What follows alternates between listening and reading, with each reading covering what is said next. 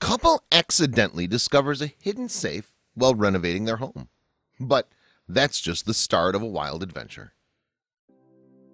Renovating a house comes with great risks and hopefully great rewards. Most people hit a snag or two when demoing walls and ripping up carpet. But the end result a happy and safe home is worth it. One Arizona couple not only redesigned their home They received tangible rewards a safe with $50,000 a bottle of rare bourbon and a philosophy book. Meet Angel and Eddie Arizona homeowners whose home rental project turned out to be a great adventure. Before we begin make sure to smash that like button subscribe to our channel and click the notification bell for more amazing videos. We moved into our fixer-upper home two years ago Angie said. We're finally getting around to the kitchen renovation. Eddie is DIY enough and saving us some money.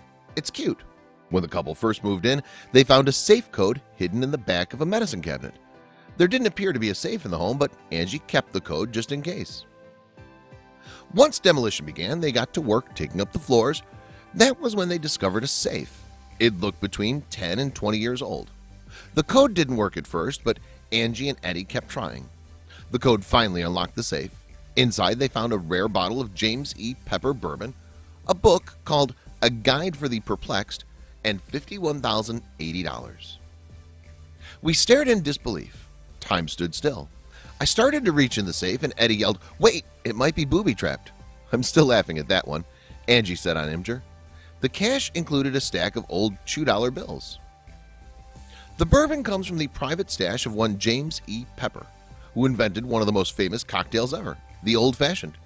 Some speculated that the presence of the bottle suggested the entire story is a hoax since the pepper brand was recently purchased for a revival. The company that owns the rights were promoting the secret family recipe behind the bourbon. After AZ Central contacted the company it issued a statement.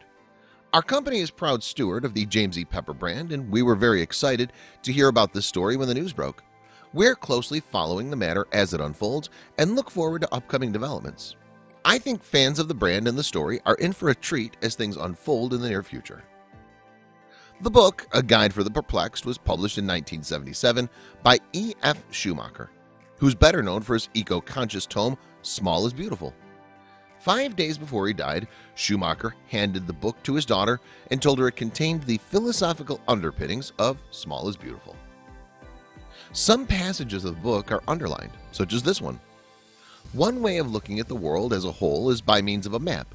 That is to say some sort of plan or outline that shows where various things are to be found. A black and white photograph was also tucked inside the book. There was a message on the back of the photo which read Alan I have a book you must read. I've underlined a few key passages. Your friend Vincent. Did this suggest that there's another mystery and another treasure?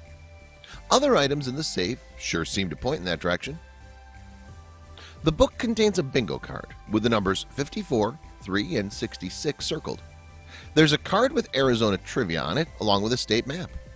On the map Mesa is marked with an X. There's an old photograph showing a tree with three trunks.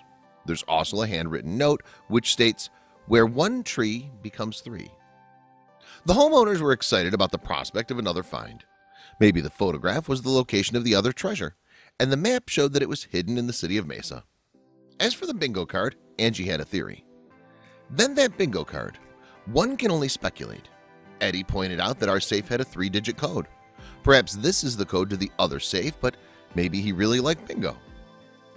Some readers of the original story which appeared on Reddit noticed that the homeowners had remarkably clean shoes for two people who have been demolishing a floor. Others noticed that Angie was wearing her diamond ring and that her wrist shows a hair tie. Angie wore her hair down during her home renovations. That was enough to indicate that not everything about this story was on the up and up. Finally, the owner of the website The Chive admitted that the story was a hoax. The house was his house and he'd found an empty safe built into the wall when he was remodeling it. He was inspired by something he saw as a child. The eight-year-old in me remembered watching Geraldo Rivera open Al Capone's vault and wanted so badly for there to be something anything in that damn thing.